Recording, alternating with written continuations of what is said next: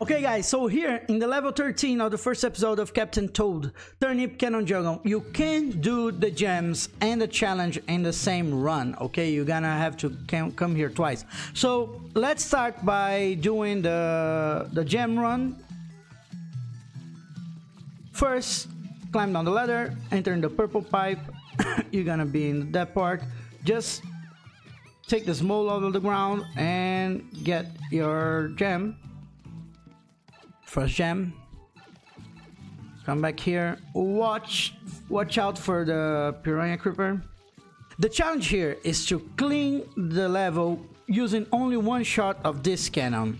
It is not possible because we need to use one, at least one shot to get the, this gem and another shot to break this rock block. So it's impossible. So you need to come here twice and in the other uh, in the other in the second run you just destroy the block and do anything else. Okay guys? So remember that. Come back to this level.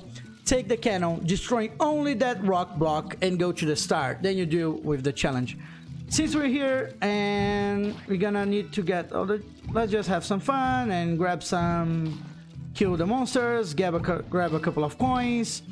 Do that so you can get a couple of lives free lives in this level. Okay guys so we have two two gems. I already explained you how to get the the challenge. The third gem is right here. Watch for this bird. You can kill him if you want before coming here. And go to the star. So remember guys the next time you're in this level just shoot the the rock block and nothing else okay? Then you're gonna then you're gonna be good. And you're gonna do the challenge. But you can do in one run And to get a pixel toad, you also need to get to the to the cannon. So go to the cannon.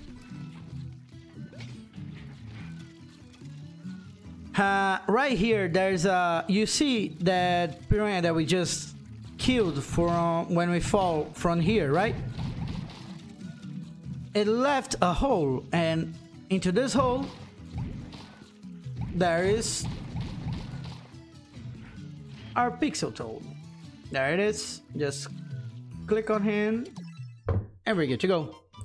So just kill the most left piranha plant and and click on the pixel toad in the hole. Okay. So next level, level 4